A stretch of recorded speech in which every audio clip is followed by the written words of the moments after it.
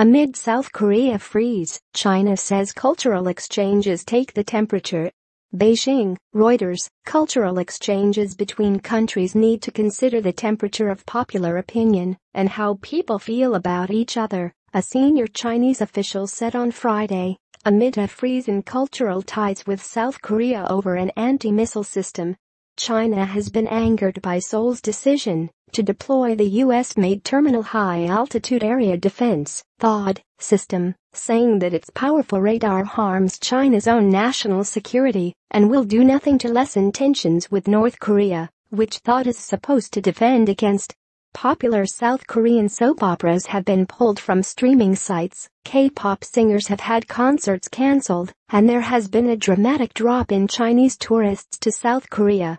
China has not officially linked the moves to the THAAD tensions, but has said relations need to have a basis in popular opinion.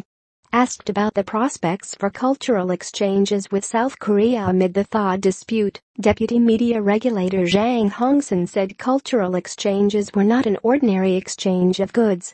Cultural exchanges relate to where the popular will inclines and to emotional choices, he said, speaking on the sidelines of a Communist Party Congress so what we say is that culture exchanges are an exchange of temperatures, and this temperature comes from popular feeling and emotion, added Zhang, who is a vice minister of the State Administration of Press, Publication, Radio, Film, and Television.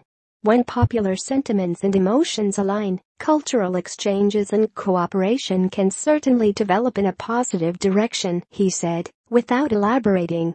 Reporting by Ben Blanchard. Editing by Nick Macfie.